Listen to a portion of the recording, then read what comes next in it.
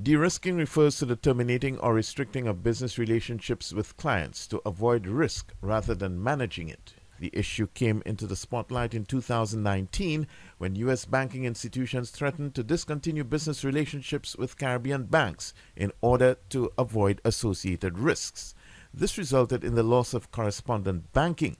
On Wednesday, the issue returned to the limelight when Trinidad and Tobago Prime Minister Dr. Keith Rowley attended the U.S. congressional hearing on the impacts of de-risking on banks in the Caribbean.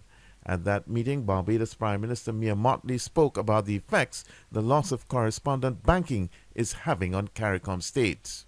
Businesses come into our region sometimes weeks and months just to open a bank account as individuals to live and as companies to trade and do business.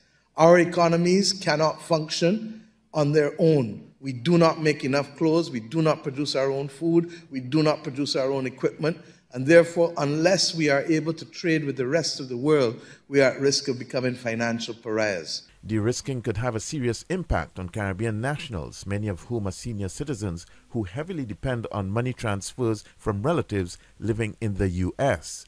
Local economist Richard Peterkin does not think the hearing will make much of a difference, but he thinks there are ways to work around the situation.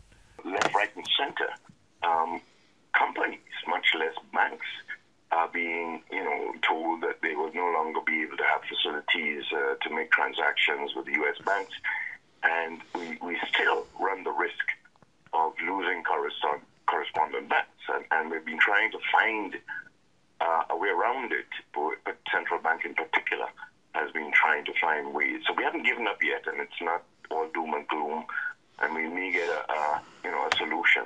He cited a case in Grenada where the Western Union there encountered difficulties in conducting money transfers from the United States.